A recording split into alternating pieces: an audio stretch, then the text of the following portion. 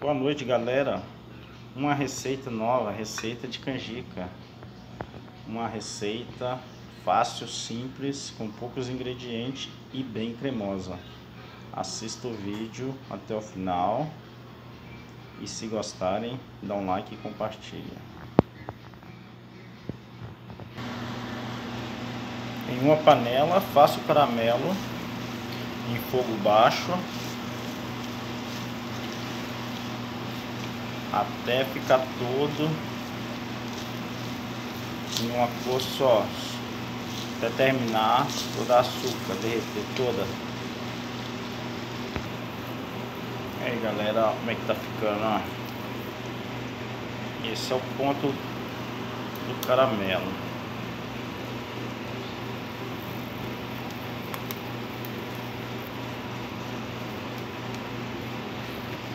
E em seguida, depois dele todo líquido, entra o leite.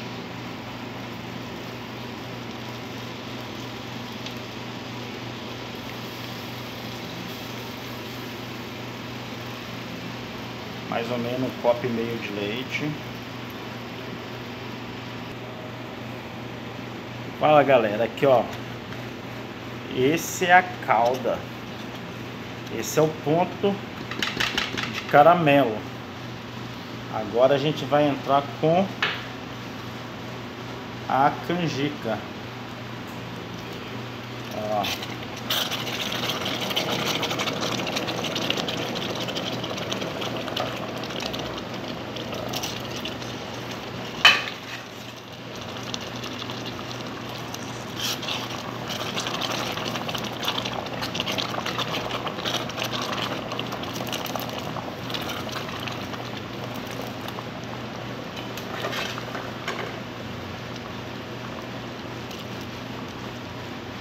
Espero que gostem.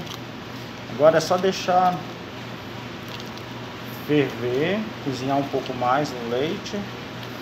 Se a pessoa quiser mais clarinho, mais leite.